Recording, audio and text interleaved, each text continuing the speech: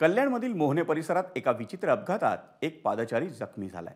मंगळवारी सायंकाळी चार वाजण्याच्या सुमारास सुभाष मोरे हे मार्केटमध्ये निघाले होते. त्यावेळी समोरून येणाऱ्या एका कारनं रिक्षाला धडक दिली.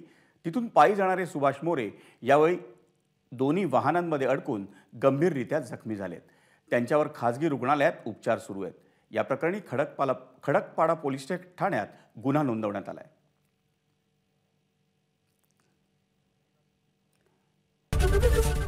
एबीपी माझा.